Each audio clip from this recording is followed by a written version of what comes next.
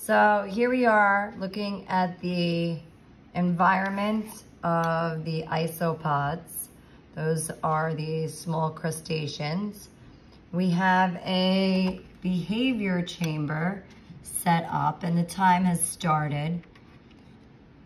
And we're gonna make some observations on, no. And they need to be put back because they are movers and shakers, these little roly-polies. Uh, they need to be put back into their locations, this guy in this little behavior chamber. Now notice how this behavior chamber is set up. There's 10 of these. The behavior chamber is set up with one side being filled with light and the other side being completely dark.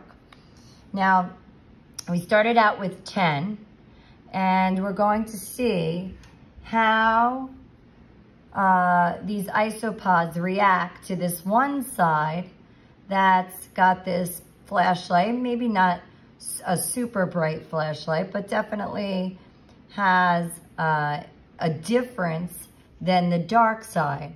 So right now, if we started with 10, uh, it looks as though there is uh, at minute one, one, two, three, four, five, six on the bright side. And then if you look over on the dark side, there is four over on the dark side. We'll see if uh, these isopods begin to move as time continues on. So what type of environment do they prefer? We'll see. Uh, right now, it's been a minute and 30 seconds. Right now, there looks like there is still the same. One, two, three, four, five, six on the bright side. It looks like they are huddling a little bit into the corner. I'm not sure if they realize that there is an opening over here. The dark side still has the four over there. Whoops. Um, so we'll see if they begin to move. Uh, one, two, three, four, five on the light side. Oh, no, one more just came in on the light side. Another one just came in on the light side. That's two minutes. And now there's one, two, three, four, five, six, seven on the light side and three on the dark side. Whoops. And they escape frequently. Uh, this chamber does not have high walls. Uh, it's just a petri dish, so it's a very low uh, walled area. Uh, the light here uh, you would think, I wish I could actually turn it a little bit this way. Maybe that would change their minds, but I don't want it to affect the dark side of the chamber. So here we are approaching three minutes and it looks like it's still the same amount. One, two, oops. One, two, three, four, five, six. Uh, it looks like six. Wait, is one of them attached? Sometimes they like grab onto one another. Um, and here we go. Whoops. Uh, it does look like they're trying to get away from the light. Some of them are trying to get away from the light.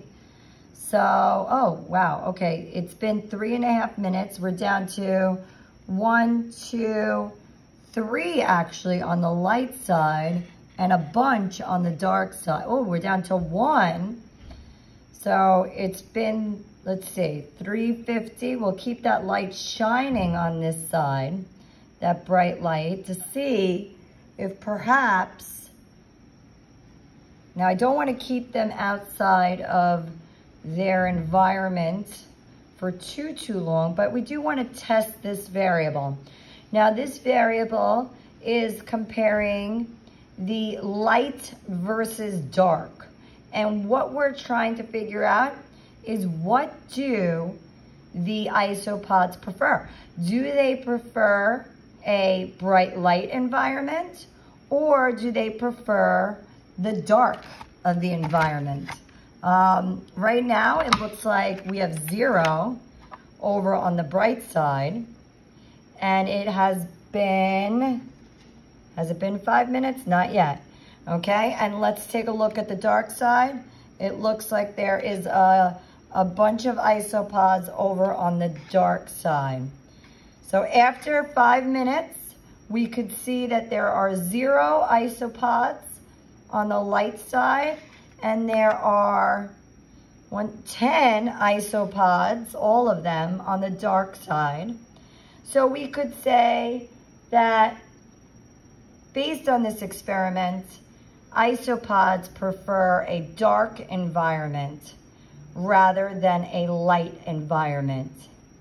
And we prove that because there were 10 isopods on the dark side and zero isopods on the light side.